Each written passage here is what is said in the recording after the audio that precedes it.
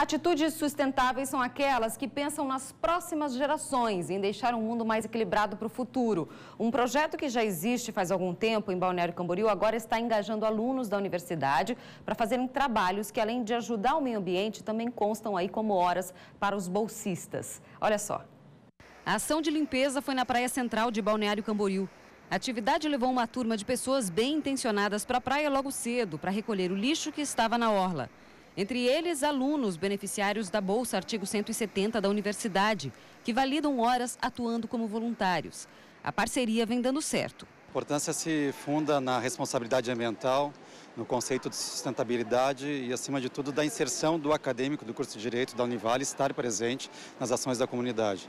E isso revela a qualidade do acadêmico que nós formamos para a comunidade ter a recepção deles, portanto. Esse tipo de ação é importante realmente para a conscientização das pessoas, principalmente por causa do tipo de lixo.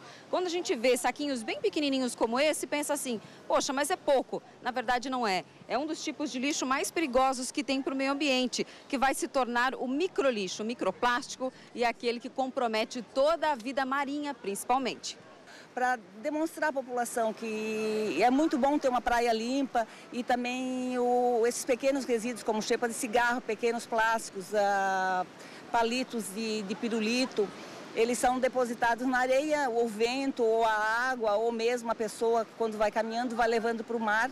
E os animais marinhos, eles confundem é, esses pequenos resíduos ou micro-resíduos com alimentos. A iniciativa começou com a Lúcia e acabou virando um projeto maior que percorre vários lugares aqui na região, a fim de conscientizar as pessoas e também contribuir com a sustentabilidade ganham os voluntários e ganha o meio ambiente. É a questão da conscientização das pessoas, né? onde, onde as pessoas estão vendo a gente fazer esse tipo de ação e acabam se conscientizando, cria até uma certa vergonha de largar o lixo no chão.